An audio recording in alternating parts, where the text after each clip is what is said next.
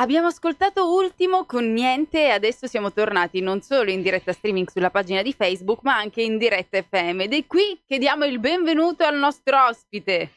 Eccolo, è Vittorio Buongiorno, è il regista di Ask the Sun, Can We Change the Future? E eh, non lo so, lo eh. chiederemo a lui. Vittorio, ci senti? Io vi sento, non so se mi sentite. Benissimo. Ci sentiamo forte e chiaro. Buongiorno da Bologna con un cielo latteo stamattina che preannuncia chissà quali sconvolgimenti. Oh.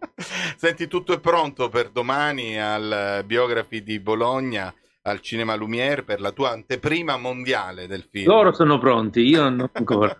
Come no? Perché non sei pronto?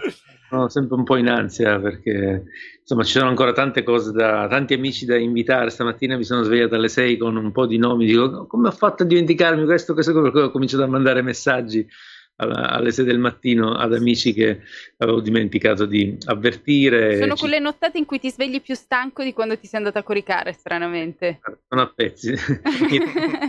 Ora che il film esca e che vada in onda, ma appunto sono, sono già stanchissimo. Per cui...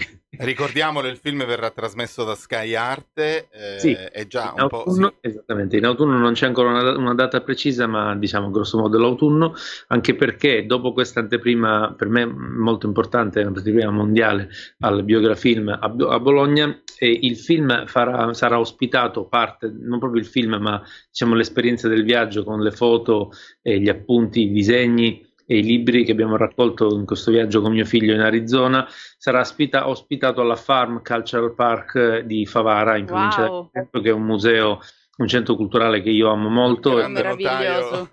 che lo ha Andrea Parti, Florinda, esattamente, ci hanno ospitati tra l'altro in questi giorni stiamo facendo a distanza eh, l'installazione del, dei materiali e abbiamo portato tutte le nostre foto che abbiamo raccolto, i disegni, gli appunti eh, per raccontare questa, questa, esperienza di viaggio che ho fatto con mio figlio che è nata come una cosa un po' particolare. Eh, mio figlio quando ha compiuto 18 anni eh, ha espresso il desiderio di studiare in futuro eh, architettura il futuro poi in realtà si è avverato, nel senso che lui si sta quasi diplomando in architettura e invece che un regalo diciamo fisico, un oggetto eh, che probabilmente avrebbe dimenticato in un cassetto, un orologio o qualcosa, eh, gli ho regalato questo viaggio verso l'utopia di Paolo Soleri che io avevo già studiato, che non avevo conosciuto fisicamente, avevo viaggiato già nei deserti del, del, del South Esattamente, Texas, Arizona, mi ero già fatto California, mi ero già fatto un po' di,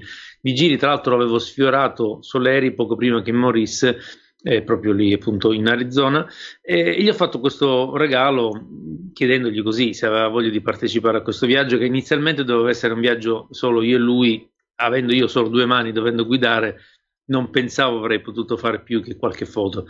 In realtà all'ultimo minuto si è aggiunto un un, un operatore eh, molto bravo che mi aveva contattato, lui viveva a Londra, aveva letto un mio libro che raccontava i miei viaggi a Detroit, a Los Angeles e a Berlino e questa cosa è nata un po' eh, all'avventura, nel senso che io ho organizzato il viaggio e ho voluto prendere contatti con la Fondazione Cosanti che porta avanti il lavoro di Paolo certo. Soler, che è morto nel 2013 eh, però ho voluto che fosse una cosa spontanea, che mio figlio, un ragazzo di 18 anni, con la ingenuità che è giusto che abbia un diciottenne, affrontasse questa esperienza che è stata molto importante. Dagli anni 70, eh, quando Paolo Soleri ha fatto, creato questo insediamento urbano, questo Urban Laboratory, come lo chiamano loro ancora ad Arcosanti, ha un po' sconvolto le regole della, dell'architettura, della della urbanistica, della sociologia soprattutto.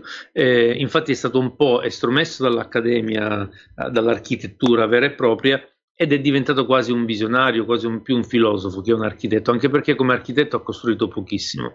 E per costruire Arcosanti nel 1970 si fa aiutare da studenti di architettura da tutto il mondo che addirittura pagano per andare a costruire insieme a lui. E mi sembrava allora, capisco che qualcuno potrà dire ah, un, hai messo un peso su tuo figlio, è così importante per una roba del genere, però mi sembrava bello eh, dargli questa possibilità, spalancargli una porta e fargli vedere una cosa possibile, un possibile futuro. Non gli ho dato, eh, non gli ho impartito volutamente eh, prima del viaggio eh, mie, i miei pensieri su Arcosanti, su Paolo Soleri, giusto o sbagliato. Volevo che lui si rendesse conto eh, con la sua sensibilità di quello che stava vedendo e quello che può raccontare la storia di Arcosanti a un ragazzo di 18 anni oggi. E poi lui appunto si è iscritto ad architettura, ma anche quello era un, come dire, quasi più eh, una... Forse il viaggio lo ha condizionato. sì, il viaggio lo ha condizionato, ma tra l'altro devo dire che adesso si sta diplomando. Aspetta, si è interrotto sì, sì, Vittorio. Approfittiamo per mandare un sì. brano. C'è Luca Carboni con Bologna è una regola e poi da qui ci ritroviamo in diretta streaming sulla nostra pagina Facebook mm. di Radio In. Si è frizzato, mm, come si, si Ci si è bloccato l'ospite. Eh, Vittorio, buongiorno. Se vuoi, Ryuk, possiamo mandare il trailer del film. Vediamo perché mi sa che nel frattempo lui lì al punto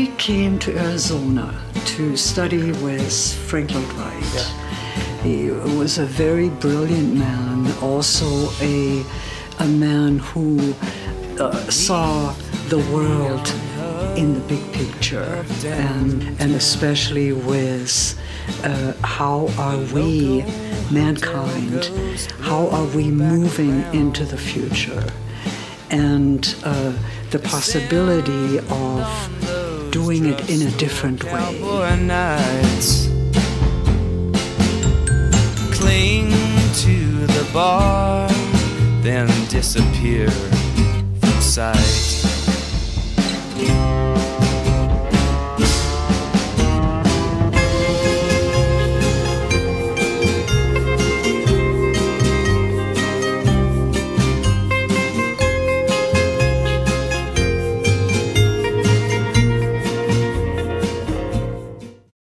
Che meraviglia. Chi eh, abbiamo ripristinato il collegamento? No, sì, è un viaggio, Eliana, Immagini. che si trasforma in un uh, road movie.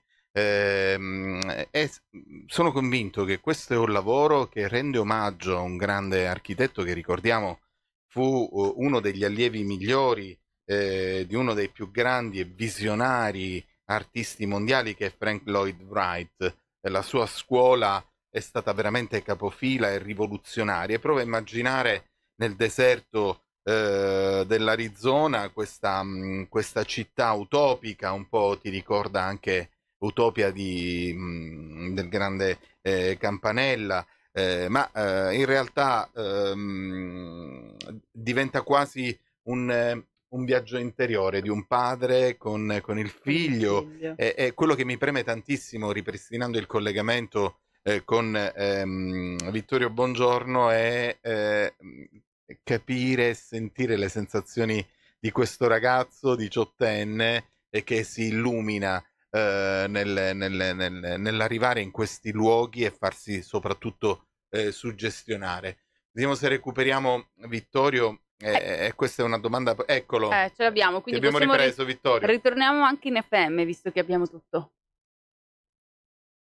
Ed eccoci tornati, abbiamo ripristinato il collegamento con Vittorio Buongiorno, noi nel frattempo in diretta streaming sulla nostra pagina di Facebook di Radio Ina abbiamo anche visto il trailer e, e, siamo rimasti tipo wow, ecco, siamo rimasti così, fantastico. Le, le, prime immagini che ci fanno rimanere veramente a bocca aperta ed è cioè, un, un film nel film, eh, quello tuo con tuo figlio, la storia di questo uh, grande artista, insomma, l'omaggio, sono tante l'omaggio a Soleri che credo sia anche stato un po' dimenticato, Vittorio. Sì, assolutamente, è stato dimenticato perché, eh, allora, forse lui un pochino eh, si è voluto far dimenticare, nel senso che si è isolato in questo luogo che è un luogo, non dimentichiamolo, come tra i più inospitali del mondo, dove lui ha comunque provato e l'ha fatto, l'ha messo in pratica eh, un'esperienza appunto alternativa. Noi abbiamo provocato eh, un pochino i, i, residenti con questa storia dell'utopia, no? E loro sono giustamente, non dico infastiditi, ma si difendono dicendo questa non è un'utopia, questa è un tentativo, noi viviamo qui. Tant'è vero che non dimentichiamolo che dal 1970 a oggi ci vivono regolarmente un centinaio di persone, eh, per cui vivono, fanno una vita normalissima, felicissima, ricca di, di esperienze eh, interiori eh, e di collegamenti anche con il mondo, tant'è vero che da tutto il mondo mondo ragazzi e ragazze vanno lì a fare workshop di ceramica, loro fanno tutti i giorni eh, le colate di bronzo fuso e le ceramiche per vendere le, le campane che, so, che, aveva disegnato Soleri, per cui è una piccola comunità che, che funziona, ovviamente essendo piccola di, di numero. Um, la cosa per me appunto fondamentale era raccontare un po' la storia di questo, di questo visionario che è stato mh, dimenticato o volutamente dimenticato eh, e soprattutto però eh, far vedere sia il luogo, come avete visto dalle immagini del trailer, il deserto è straordinario. Io che sono un siciliano, che sono abituato a certi colori del, della terra, eh, mi sono trovato abbastanza a mio agio, mio figlio che è un bolognese doc, nonostante abbia vissuto tanto con me in Sicilia nelle vacanze, nei viaggi, eh, ovviamente era un pochino più spaesato. Ehm, e però qualcuno ha notato che vedendo il trailer ha notato questo sguardo eh, di, di, Giulio abbastanza meravigliato, sorpreso da un'esperienza effettivamente un po' fuori dal Era comune. questa la domanda che, che avevo in serbo prima di, che si staccasse il collegamento. Eh, lo stupore e gli occhi di tuo figlio eh, sicuramente non, non, non ti hanno abbandonato durante questo viaggio. Sì, assolutamente. Questa è una cosa che ti ringrazio molto di, di, averla segnalata perché appunto qualche giorno fa anche qualche amico che ha visto il trailer mi ha detto la stessa cosa e spero che venga fuori dalla, dal, dal, film. Eh, io penso che quando ho fatto il viaggio, eh, con, anche con, nonostante la, l'occhio della telecamera del, dell'operatore che ci ha filmato da dietro la macchina ovunque nelle, nelle nostre stanze di hotel eh, in modo discreto, nonostante sapevo che eravamo filmati, sono rimasto veramente colpito da questa esperienza umana. Tra l'altro, con questo operatore che io avevo visto una volta prima di, di, di, partire e che mio figlio non conosceva, lui aveva un po' il timore che si rompesse la nostra sintonia e io ho detto guarda sicuramente non succederà, tant'è vero che Nick, che l'operatore è un po' più piccolo di me, un po' più grande di Giulio, si è creato questo trio straordinario per cui viviamo ancora a distanza di tre anni i ricordi, le battute di, questo, di questa esperienza di viaggio che è fatta appunto di sguardi, anche di stanchezza perché verso la fine della, del, dell'esperienza, quando sapevamo che saremmo dovuti tornare a casa, eravamo contenti di tornare a casa, come da ogni viaggio, però sapevamo che ci saremmo scontrati con un mondo completamente come dire, civilizzato e dedito a, a, al consumismo sfrenato dopo aver vissuto dieci giorni in una sorta di paradiso, in una sorta di mondo eh, di fantasia. Poi in realtà loro ci vivono in questo mondo, per cui è bello anche coltivare questi due mondi ed è il senso poi che ho voluto regalare a mio figlio. Il regalo vero era questo, cioè guarda cosa succede in una parte del mondo, ce ne sono tante altre, eh, in tante altre parti del mondo vivono queste esperienze così. E io questo gliel'ho regalato a 18 anni. Vittorio, poi. io non ti nascondo, avendo un figlio di 24 anni che fa il musicista e che tra l'altro eh, ha preso la strada della musica per film eh, qui al Conservatorio di Palermo, non ti nascondo che eh, sento un, un piccolo fuoco dentro perché eh, il lavoro che tu hai fatto eh, introspettivo su te stesso accanto a tuo figlio, eh, ripercorrere le orme di uno dei più grandi visionari del Novecento eh, come, come, Soleri, ehm, so, sono certo che questo lavoro ti ha lasciato tanto dentro. Eh, mi riferisco anche al fatto che eh, la, quella del 1970 fu anche una provocazione, quella di Soleri nel creare una città utopica a basso impatto ambientale, eh, nel poter dimostrare al mondo come un esperimento, quindi una sperimentazione nel deserto possa funzionare. Ecco, la mia domanda finale è proprio cosa ti rimane di questo lavoro e come immagini di diffonderlo e veicolarlo?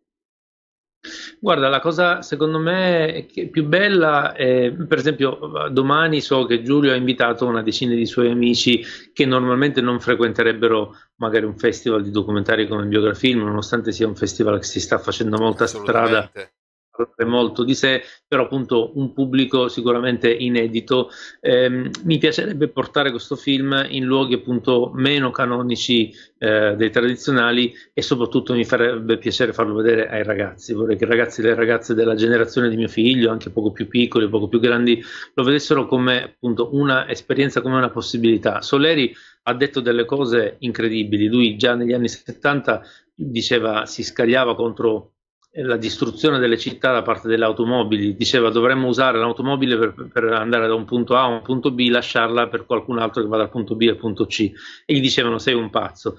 Oggi tornare indietro sul car sharing sarebbe questa. Lo diceva pazzia. 53 anni fa. Esattamente, questo signore lo diceva negli anni 70, poco, anche un po', un po', prima, per cui ci sono questi visionari che hanno avuto dei caratteri, come dire, Soleri aveva, aveva avuto un caratterino eh, niente male, perché era, aveva, è stato buttato fuori dalla scuola di Frank Lloyd Wright quando lui va a studiare eh, in America, da lui appunto dopo poco più di un anno è, è stato cacciato si dice. cortocircuito. Chissà chissà che, ma, ma, si sa che cosa è accaduto diciamo... per farlo cacciare si conosce l'aneddoto, no? E vedi, la questione spinosa e si blocca. Meno male perché abbiamo la pubblicità e poi torniamo Parola insieme. Siamo chiave cortocircuito, si è bloccato il collegamento. Torniamo fra poco. Eccolo qua, ti ritrovo. Ma ti, ti, avevo chiesto poco fa, ma si sa come, co- cosa è accaduto per far buttare fuori dalla scuola? Siamo in diretta? Sì? Ah, non si può dire in diretta? No. ah, è un fatto segreto? No, no, no, no, era una battuta la mia. No, in realtà dalle biografie che ho letto, soprattutto di Wright, eh, c'è stato un problema caratteriale, eh, anche perché eh, sinceramente Soleri stava già sviluppando questa sua idea che andava in netto contrasto con, la, con la, l'immagine e con, con la, la, concezione della, dell'urbanizzazione di, eh, di, Frank Lloyd Wright. I due avevano due caratterini molto spigolosi, per cui sono stati un po' eh, è stato quello che li ha. Non, non, credo che ci sia stato nulla di più che, che questo. Poi si dice che eh, Soleri partecipò a un concorso, anzi tutta la scuola di Taliesin di Frank Lloyd Wright partecipò a un concorso per la costruzione e l'ideazione di un ponte e si dice che Soleri fece quello più bello che venne messo in mostra e questa cosa Wright insomma non, non l'ha non, proprio bene per cui credo che fosse solo una questione di caratterini. Spirito, L'allievo che superò il maestro. Eh, sai, prima eh, poi sai, a livello, a livello di internazionale comunque eh, sì. non è riuscito forse così, così, tanto ad affondare il colpo. Però riflettevo sulle parole che ci diceva Vittorio sul uh, desiderio di portare Ask the Sand alle scuole, ai giovanissimi, perché ehm, parlo sempre per sensazioni, io la sensazione che ci sia un divario eh, generazionale particolarmente marcato in cui per molti figli di questo tempo, chi prima ha distrutto il pianeta, chi prima ha vissuto di politiche distanti dalla società, chi prima ha fatto tante cose che ci portano oggi a una società che non funziona bene, eh, è da buttare e, e, i giovani sanno cosa fare nel futuro. C'è un po' un, un, dire ok, voi ci avete provato, non ce l'avete fatto, ci pensiamo noi e basta. Invece mostrare quello che di buono c'è stato anche, quei personaggi visionari e far percepire tutto questo, eh, secondo me è, è, importantissimo. Non so se poi mh, tu, eh, avendo più contatto con i giovani, no, hai questa sensazione. Assolutamente, infatti la cosa che mi fa un po' arrabbiare è che la parola sostenibilità è sulla bocca di tutti ormai 24 ore al giorno. In realtà è, è un, come dire, sta perdendo il significato. Sostenibile è mia nonna quando riempie la bottiglia di latte con latte fresco o, o il, il, cibo che avanza lo dà alle galline, voglio dire. Eh, la cosa incredibile è che Soleri l'ha fatto, l'ha fatto da, da, dagli anni 60 e con eh, Arcosanti, con la prima pietra di Arcosanti, l'ha, l'ha, fatto e lo continuano a fare lì eh, appunto dal 1970, per cui la sostenibilità si può praticare, ovviamente non è la soluzione a tutti i mali del mondo, quello che fanno ad Arcosanti, ma è una possibilità. Infatti il sottotitolo di Ask the Sand Can we change the future? Io lascio questa domanda. Vorrei che a rispondere fossero i ragazzi più giovani che non uh, i, i, vecchiacci politici che hanno semplicemente rovinato questo mondo. Eh, vorrei che loro potessero dire la, la, loro. Vorrei che mio figlio e i suoi amici e le sue amiche lo rispondano.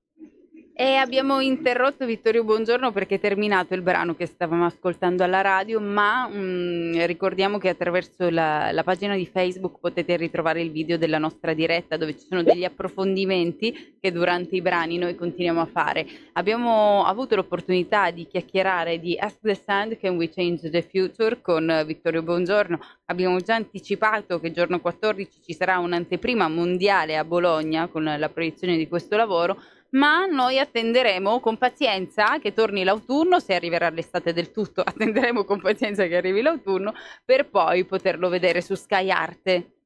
Io nel frattempo, Vittorio, ne approfitto per dirti che eh, il centro sperimentale a Palermo, la Sala Bianca è a tua disposizione per la proiezione e l'incontro Bell- con i nostri Bell- studenti del, del, corso di documentario. Noi... Eh, sono, sono, dei momenti che ci piacciono tantissimo e che comunque apriamo Apriamo anche al pubblico. alla città ah. eh, perché non ce li teniamo solo per noi.